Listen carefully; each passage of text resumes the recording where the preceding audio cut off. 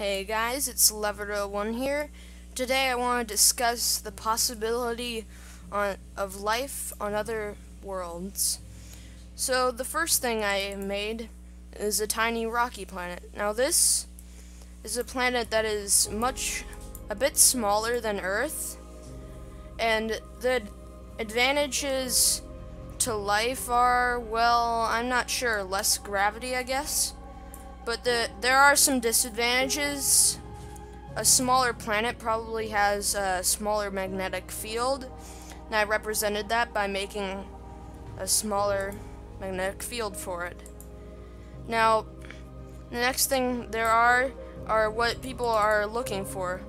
Life as we know it on Earth-sized planets. Now this one is uh, about the size of Earth, yeah.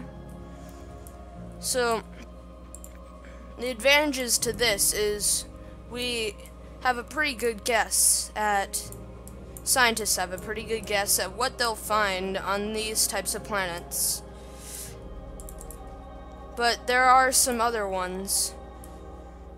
There are super Earths, which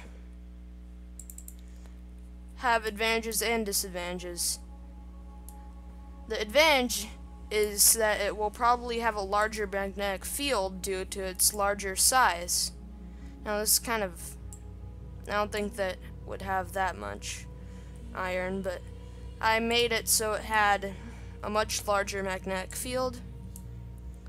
So, but that's also a disadvantage because a lot of how life evolved on Earth was through mutation. One of the ways of mutation is radiation. There, I've discussed in another video solar radiation that a lot of ra radiation comes from the sun that can disrupt the DNA of an organism, which is both good and bad. It is bad because it can damage the DNA, but it is also good because it can change the DNA.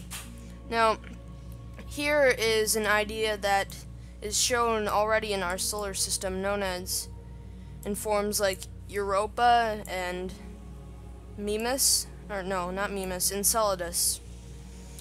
Uh, the idea is that there might be an ocean under the ice, a liquid ocean, due to tidal heating between the moon, other moons, and the planet itself.